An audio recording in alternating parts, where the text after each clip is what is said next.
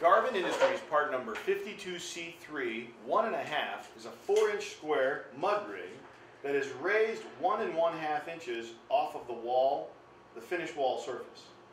It comes standard with 832 threaded holes for mounting most sconce lights or overhead lights.